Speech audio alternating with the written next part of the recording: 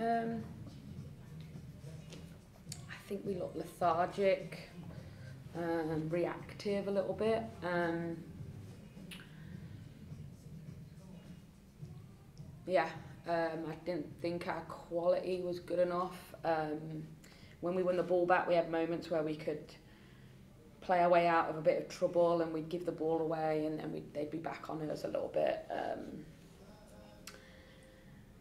yeah, I think it was a it was a tough night for us. You know, I think our, our motto is always you know stay in the game, and I felt at one 0 we were staying in the game. Um, but you know, the second goal was a killer um, from pretty much nothing to you know. I think um, it'll be good for us to look at. But I said to the players after the game, you know, tonight would have been a real bonus to get three points in. But the harsh reality is the next three games are the most important um, with who we're playing. So. Uh, we've got to dust ourselves off real quick and get ready to get on a plane again to go to Houston. So, uh, building on what you said of um, still being in the game, uh, you brought on Mondésir and Latsko.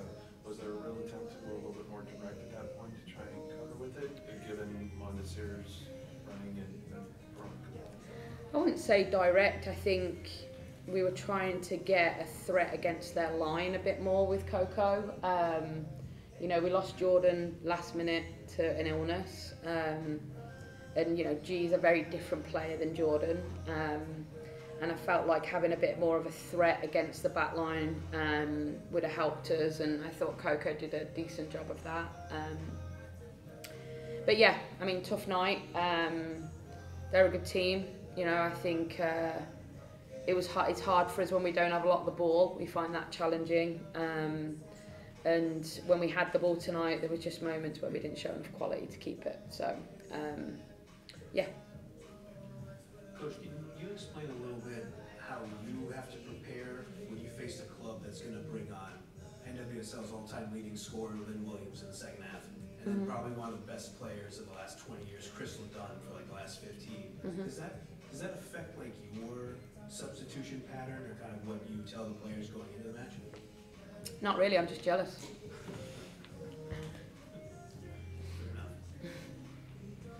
Hey Laura, just um, some of your initial thoughts on what you saw from Hannah Glass and her debut. I thought she did well. Um, you know, she's up against tough opponent. You know, uh, Ella's had a fantastic season, and then you take Ella off and you bring on Lynn Williams, who speaks for herself. And you know, I, I felt we honestly kept them quiet on the left-hand side of the field for the majority of the game. I think Rose was the only one really who ever caused us a problem on the left when she was there. Um, so yeah, I thought Hannah did great. And then I know Shay was honored at halftime for the uh, Lauren Holiday Award nominee, but she's been uh, playing wise. She's been a rock for you guys all year. What have you liked from Shay this season and what she's brought as a player, but also I guess in the locker room? Yeah, I think she's you know first and foremost she's a fantastic human being. Um, she brings she's got a fantastic personality. She cares deeply about a lot of things, and the biggest target Shay had when we signed her and we drafted her was to stay healthy in year one, which she did. And her year two target was to play more minutes, which she's doing. So she's on track for the, all the targets and goals that we've set her.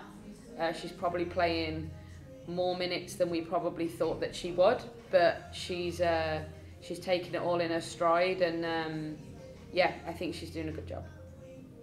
Uh, you're able to get Lou back tonight into the starting lineup, uh, even even without a full 90. What was it like to be able to bring her on and partner with you? Yeah, you know, I think Lou is a staple of this club, always has been. Um, you know, she brings something that's a little bit different than any of our other defenders where, you know, she's a great defender, but she's fantastic on the ball um, and can add, add us with a little bit of quality and you know, I think Jules and Phoebes have been doing great together. Uh, but to get Lou and get Lou a big amount of minutes tonight was a was a big positive setting us up for the rest of the season. Great. Thanks everyone. Thanks. Lauren. Thanks.